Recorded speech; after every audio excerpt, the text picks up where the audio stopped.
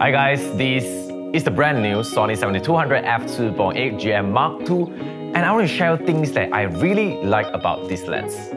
So first off, this is 30% lighter than the previous generations. Now the Mark II weighs only 1.1 kg compared to Mark 1, which is 1.55 kg. Even though physically they look almost the same. Next is one of my favorites. The Mark II has a minimum focus distance of 0.4 meter only, so it gives you a flexibility to grab some super close-up shots that you don't normally get it from other long lenses.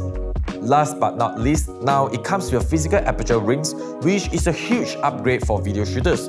Now they can change apertures from the lens without going through the buttons behind the camera.